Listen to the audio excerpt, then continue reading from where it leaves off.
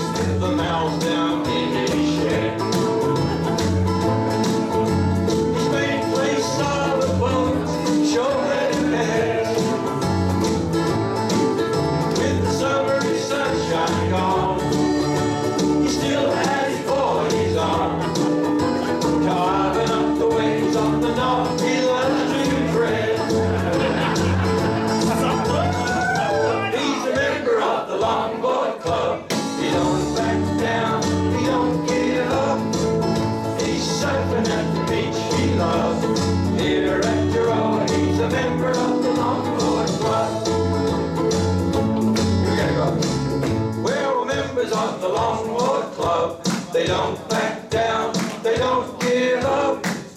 They're surfing at the beach they love. Here